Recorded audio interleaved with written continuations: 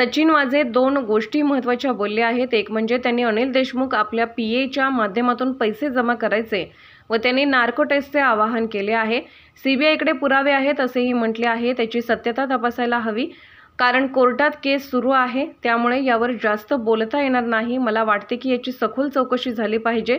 जेलमधील आरोपी आणि अटक झालेल्या आरोपीमध्ये अनिल देशमुख यांचे नाव येते. तो काही भाजपचा प्रवक्ता नाही एक आरोपी आहे. अनिल देशमुखांकडून सखोल चौकशी करा अशी प्रतिक्रिया पाहिजे होती पण त्यावर त्यांची पॉलिटिकल प्रतिक्रिया आहे. अनिल देशमुख यांनी पॉलिटिकल प्रतिक्रिया न देता जे आहे त्याची सखोल चौकशी व्हावी असं म्हटलं असतं तर राज्यकर्ता चांगलं झालं असं राज्याकरता चांगलं झालं असतं. स्वर्गीय हिंदू हृदय सम्राट बाळासाहेब ठाकरे हे जर बघत असतील की उद्धव ठाकरे औरंगजेबासारखे वागत आहे.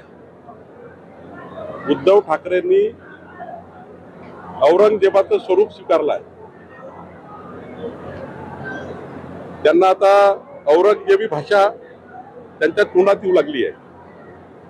काय बरोबरी करू शकता तुम्ही उद्धव ठाकरे अमित भाईची ज्या अमित भाईनी मोदीच्या नेतृत्वामध्ये काँग्रेसचा कलंक तीनशे सत्तर कलम या देशामध्ये हटवून एक मोठं राष्ट्रीय कार्य केलं.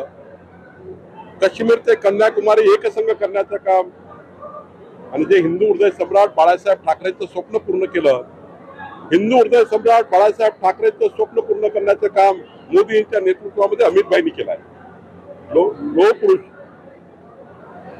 अमित भाई. त्याबद्दल तुम्ही असे बोलताय? राजकारणाकरता तुम्ही एवढी खालची पातळी गाठली आहे. आणि त्यामुळं औरंगजेबी विचाराचे उद्धव ठाकरे तुम्हाला आता जनता धडा शिकवेल. नीच पद्धतीचं बोलणे नीट पद्धतीचे वक्तत्व करणे कधी देवेंद्रजी बद्दल कधी अमितभाई बद्दल ही महाराष्ट्राची जनता खपून घेणार नाही.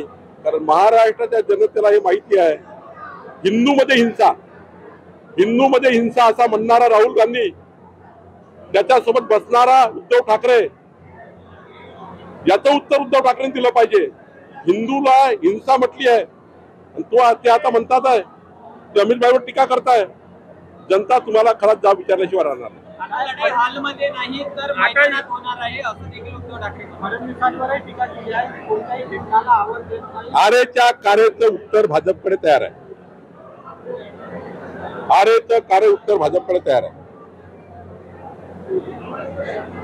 जागा वाटपावर कधी निर्णय होईल?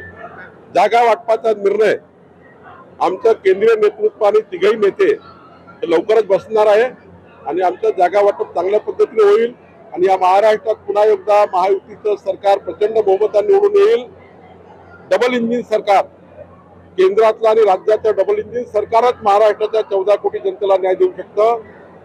महायुतीला मत देणं म्हणजे संपूर्ण योजना या पुढच्या पाच वर्षाकरता वीज बिल माफी पाच वर्षाकरता मुख्यमंत्री माझी लाडकी बहीण योजना पुढच्या पाच वर्षाकरता शेतकऱ्यांना एक रुपयात पीक योजना पाच वर्षाकरता पण समजा महाविकास आघाडीला एक मत गेलं साधं वर्धात जरी केलं तरी हे संपूर्ण योजना बंद पाडतील. जसं मोदीच्या सरकारमध्ये उद्धव ठाकरे मुख्यमंत्री असताना पंधरा योजना बंद पाडल्या होत्या. आताही सुद्धा यांचं षडयंत्र आहे की मतं घ्यायचं आणि योजना बंद पाडायच्या. पण मला विश्वास आहे महायुतीच्या जागा वाटप होईल प्रचंड ताकदीने होईल महाराष्ट्रात महायुती होईल. आणि चौदा कोटी जनतेकरता डबल इंजिन सरकार काम करेल. काय? दोन हजार सत्तेचाळीस पर्यंत देशामध्ये सरकार असणार आहे.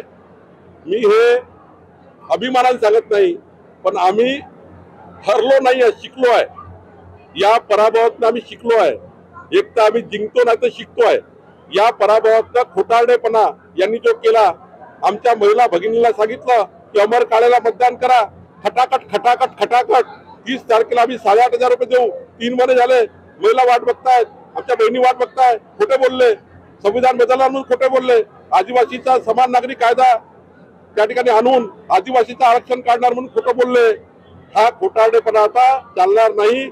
आम्ही सुद्धा आमची शक्ती तयार केली आहे. आणि आम्ही या शक्तीचा नायनाट करू खोटारडेपणाचा नायनाट करू.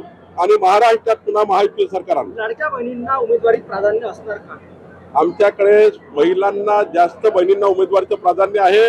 आताही आमच्याकडे जास्त महिला भगिनी आमदार आहेत आणि भाजपाचा नेहमीच महिला भगिनींना मोदीजींनी तेहतीस टक्के महिला आरक्षणाचा नारा दिला आहे. आणि पुढच्या दोन हजार एकोणतीसमध्ये दोन तेहतीस टक्के होणारच आहे. पण त्यापूर्वी सुद्धा महिलांना प्राधान्य असणार आहे. लोकनायक न्यूज.